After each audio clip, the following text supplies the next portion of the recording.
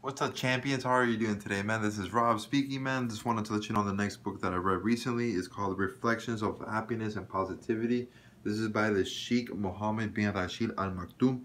He's currently the king of Dubai.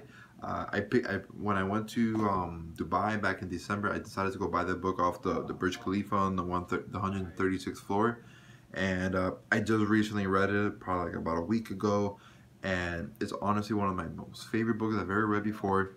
And he talks a lot about how like Sheikh Sheikh Zayed and Sheikh Rashid, uh, back when they were creating Dubai and Abu Dhabi and uniting the Emiratis uh, back in 1971 about their policies within the government and how they treated their people. And everything's based off of happiness and positivity and finding reasons why to create unity instead of division.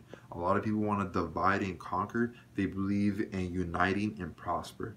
And the different change of philosophy is so unique and he speaks about it in such simple ways like yo know, the words here like size 16 font they got pictures in it it's like pretty and it's like it, on, I read it in about two and a half hours.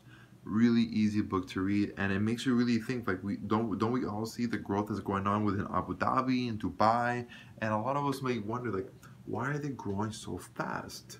And what if it's something so simple as positivity and happiness, which is the reasons why they are currently growing?